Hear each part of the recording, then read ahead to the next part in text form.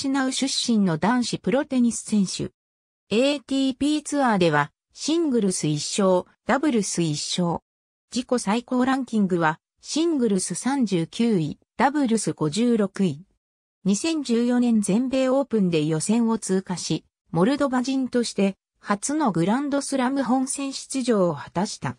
2015年のイスタンブールオープンダブルスでデュシャン・ラヨビッチと組んで優勝し、これがモルドバ人として初のツアー優勝となった。同月の全仏オープン男子ダブルスでルカシロソルと組んでベスト8進出を果たした。2016年ウィンブルドン選手権1回戦でガスタン・エリアスを破り、モルドバ人として初のグランドスラム本戦シングルスでの勝利を挙げた。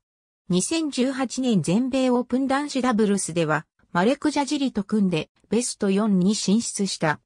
2019年、デルレービーチオープンでは決勝に進出し、決勝でダニエル・エヴァンスに3-6、6-3、7-6で勝利し、シングルスでの初タイトルを獲得した。